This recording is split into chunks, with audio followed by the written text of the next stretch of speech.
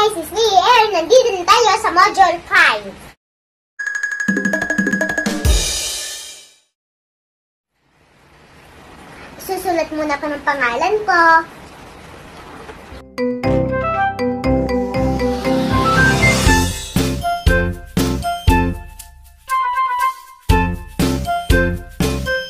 Guys, ang una natin gagawin ay maguguhit ako ng, ng kung anong nararamdaman ko dito sa mukha na to.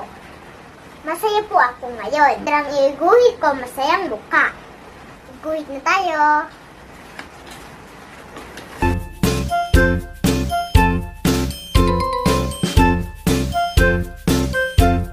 Tapos, isusulat ko naman yung nararamdaman ko na masaya. Sulat na natin. Guys,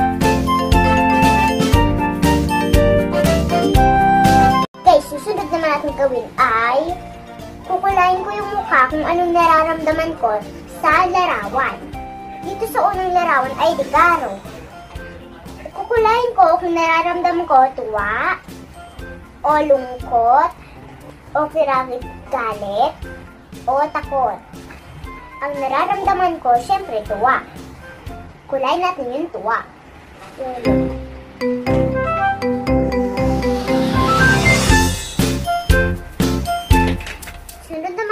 dito ay snake.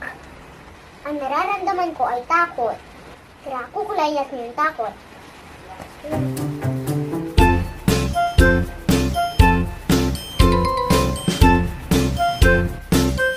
Dito naman sa last nag-aawa yung dalawang bata. Ang mararamdaman ko ay galit. Kukulayin natin yung galit. Kulayin na natin.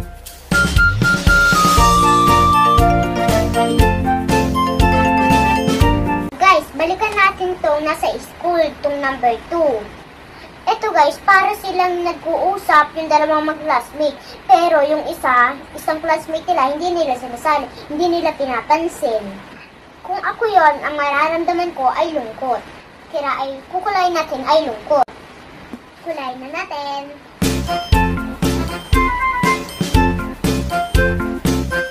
Tapos na tayo guys.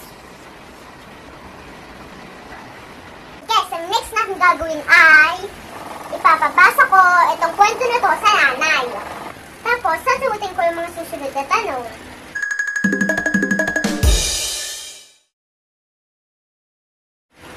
Tayo na, babasa natin kay nanay.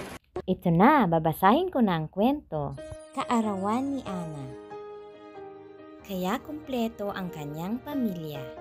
Nandoon si nanay, si kuya, si tatay at si ate para siya ay batiin at kantahan ng maligayang bati. Ang bawat isa ay nag-abot ng munting regalo. Para kay Ana, Nagdasal at nagpasalamat si Ana sa Diyos bago sila kumain.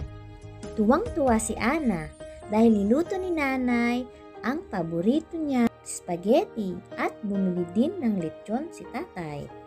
Masayang masaya si Ana, kaya nagpapasalamat siya sa kanilang lahat. Dahil naalala nila ang kanyang kaarawan. Sino ang may kaarawan? Ano ang naramdaman ni Ana sa kanyang kaarawan? Bakit kaya masaya si Ana? Guys, naintindihan niyo ba ang kwento ni nanay? Ang unang tanong ay, sino daw ay may kaarawan? Ang sagot ko, si Ana. Sulat na natin. Number two, ano daw naramdaman ni Ana sa kanyang kaarawan? Ang sagot ko, masayang masaya. Sulat na natin.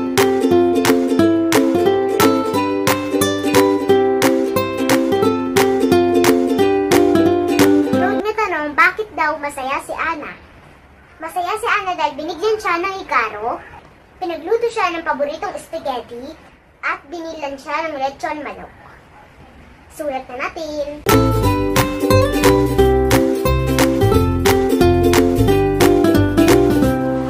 At guys, and papabasa naman natin kay Inay ang sunod na kwento. Babasahin ko na ang kwento, Ana. Makinig kang mabuti. Ang pamagat ng kwento ay Huwag malungkot dahil sa COVID. Si Bert ay mahilig maglaro ng habulan sa labas ng bahay. Kasama sa labas ng mga kaibigan. Ngunit nang dumami ang kaso ng mga taong may COVID-19, kailangang manatili muna sa loob ng bahay ang lahat, lalo na ang mga bata. Napapatingin na lang si Bert sa kalasada mula sa kanilang bintana upang maalala ang mga masasayang araw na naglalaro kasama ang kanyang mga kaibigan. Malungkot si Bert dahil di mo na sila makakapaglaro. Ngunit kailangang sumunod sa batas para maging ligtas at huwag mahawa sa sakit na dulot ng coronavirus. Mga tanong Saan mahilig maglaro ng habulan si Bert? Ano ang naramdaman ni Bert na hindi siya makakapaglaro sa labas ng bahay?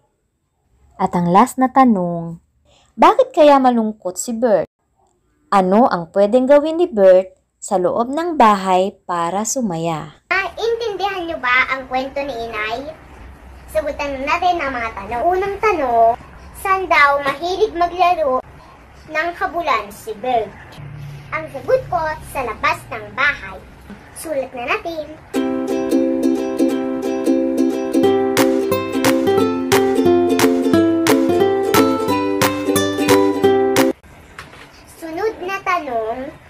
Daw naramdaman ni Bird na hindi siya makipaglaro sa labas ng bahay?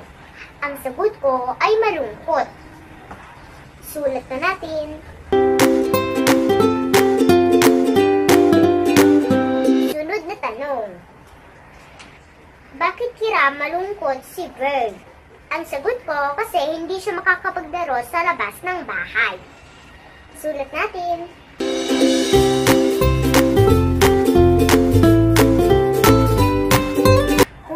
Tanong, anong pwedeng gawin ni Bird? Sa loob ng bahay para sumaya.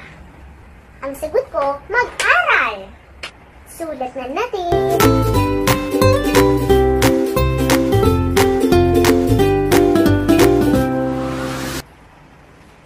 Tapos na tayo, guys.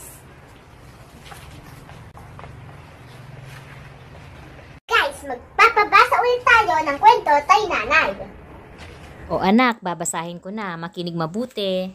Ang pamagat ng kwento ay, Manika ko, maglaro tayo. Isang araw, nakita ni Ami na nilalaro ng kanyang kapatid ang manika na bigay ng kanyang ninang. Nilapitan ni Ami ang kapatid at pinagalitan niya ito. Huwag mong laruin ang manika ko! Ang sigaw ni Ami. Narinig ito ng kanilang ina kaya kaagad na nilapitan ang magkapatid. Pinaintindi ni nanay kay Ami na dapat hindi niya sigawan ang kanyang kapatid.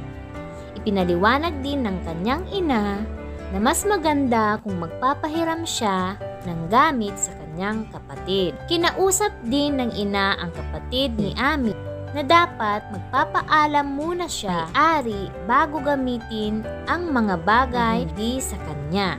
Humingi ng tawad si Ami sa kapatid. Nangako din ang kanyang kapatid na hindi na niya uulitin ang kanyang ginawa. Masayang naglaro ng manika ang dalawa at natuwa si nanay dahil sila ay nagkasundo.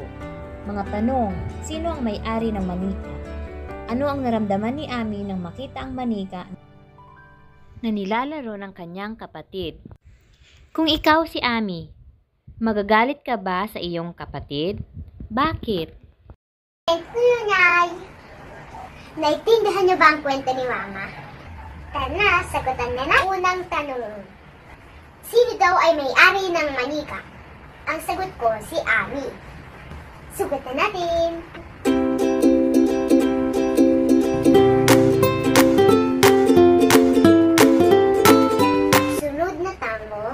Anong naramdaman ni Ani nung nilalaro ng kanyang kapatid ang manika?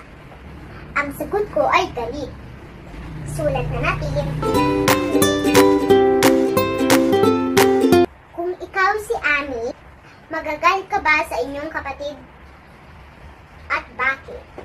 Ang sagot ko, hindi. Kasi mahal ko ang kapatid ko. Ang dapat, ang kapatid dapat nagbibigayan. Sulat na natin. Tayo sa huling kwento. Ang title ng kwento ay Mahilig manood si Buboy ng nakakatakot na palabas. Isang gabi, nanaginip siya na tumatakbo dahil hinahabol siya ng isang nakakatakot na nilalang. Takot na takot si Buboy dahil palapit ng palapit ang halimaw sa kanya.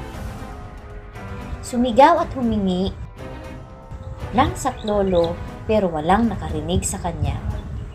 Maya-maya ay ginising siya dahil siya ay sumisigaw habang natutulog. Anak-anak, gising na. Bakit ka sumisigaw? Hay, panaginip lang pala. Nagpasalamat at niyaka ni Buboy ang kanyang tatay. Tatay, magmula ngayon, hindi na ako manonood ng mga nakakatakot na palabas. Mga tanong, anong mahilig panoorin ni Buboy? Anong naramdaman ni Buboy noong hinahabol siya? Bakit natatakot si Buboy? Ikwento mo sa magulang ang nakakatakot mong karanasan. Nakakatakot naman yung panaginip ni Buboy Noy. Gusto niyo ba yung kwento ni Nanay? Tara, sagutin na natin. Unang tanong, ano daw mahilig panoorin ni Buboy? Ang sagot ko, nakakatakot na palabas. Sulat na natin.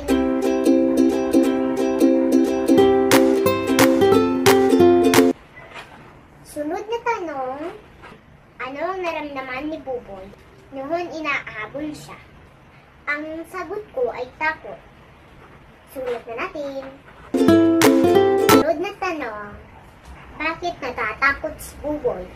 Ang sagot ko dahil naniniginip siya ng nakakatakot. Sulat na natin.